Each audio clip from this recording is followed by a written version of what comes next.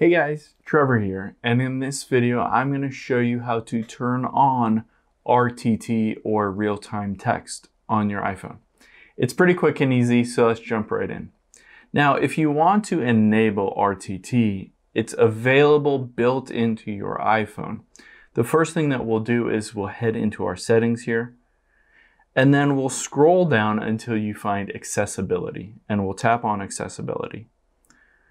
Then we'll scroll down until you find under sound recognition RTT slash TTY. So we can tap on that. And the very first option is software RTT or real-time text. Now we can toggle that on and it gives us several different options here. It says relay number. We can change that relay number to a different number if we want. We can toggle on send immediately answer RTT calls is muted, and then answer all calls as RTT. So you can toggle that on, and it says this prevents calls from being answered as voice calls, and you can say answer all calls as RTT. Now, everything is enabled for RTT to make and receive RTT or real-time text phone calls.